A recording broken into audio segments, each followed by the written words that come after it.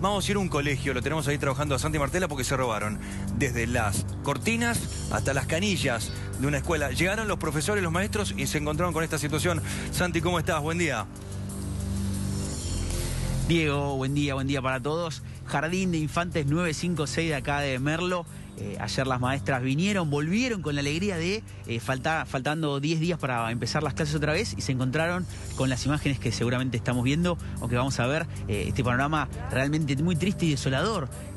todo el jardín revuelto, roto, las cosas que les robaron, les sacaron un montón de cosas. Eh, eh, trataron de mover la heladera, pero no pudieron porque era lo más pesado, pero se llevaron ventiladores, la computadora, impresoras, materiales didácticos para los chicos, eh, bolsas que, con las que, donde guardan las pelotas para que los chicos jueguen, las banderas, se llevaron, se llevaron todo, todo lo que pudieron se llevaron. Nos contaban recién, por supuesto, no podemos ingresar, no tenemos permiso del distrito ni de la municipalidad para entrar al jardín. las maestras y la directora tampoco tienen autorización para, para hablar, pero eh, nos contaban que, que hay mucho de vandalismo. Hay, por ejemplo, los, los frasquitos de los tachitos de, pintura de témpera con los que los nenes pintan y juegan y aprenden, bueno, explotados y, toda témpera en el techo, en los pisos.